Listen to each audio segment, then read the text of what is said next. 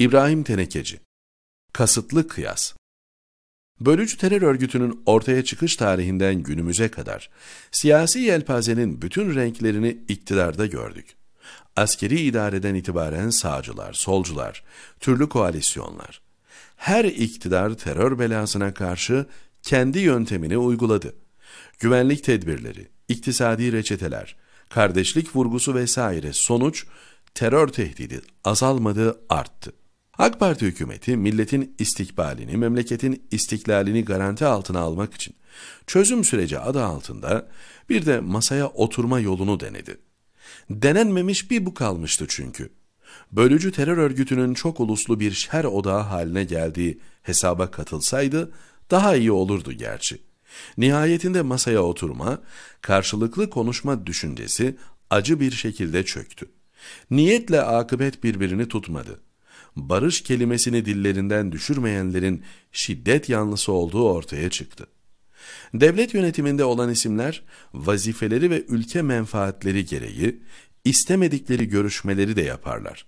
Hazzetmedikleri kimselerle masaya otururlar. Böyle bir mecburiyetleri vardır. Şimdi şöyle oluyor.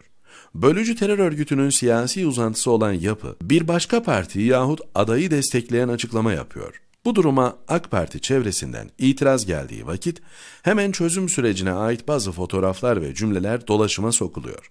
Özetle Tayyip Erdoğan daha düne kadar onlarla beraberdi. Bu tutum bize fazlasıyla aşina geliyor. Paralel ihanet şebekesinin lideri hiçbir yetkisi olmadığı halde dünya çapında garip ve üst düzey görüşmeler yapıyor, ziyaretlerde bulunuyordu. Neler oluyor sorusu hep aynı savunmayla cevaplanıyordu. Tayyip Erdoğan da görüşüyor.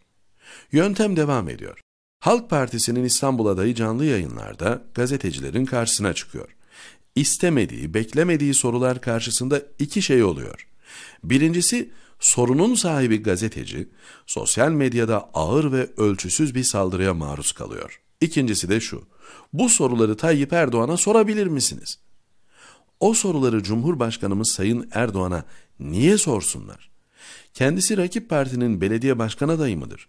Soruların kaynağı olan olayların müsebbibi, sözlerin sahibi midir? Yanlış kıyasla doğru sonuca varılmaz.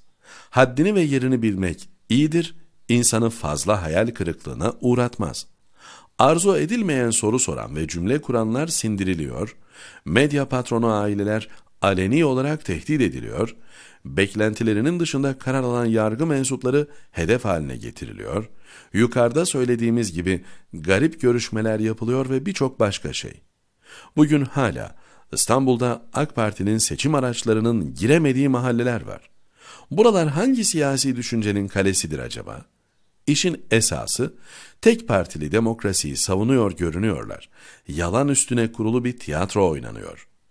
Paralel yapının kuklasına dönüşmüş hakim ve savcılar nedeniyle yargının büyük yara aldığı, adalet ve itimat duygusunun zedelendiği doğrudur.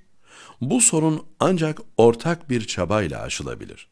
Düşmanlığa varmayan eleştiri herkese lazımdır. Bu köşede ve üstelik yakın tarihte Sayın Binali Yıldırım'ı birkaç kez eleştirdik.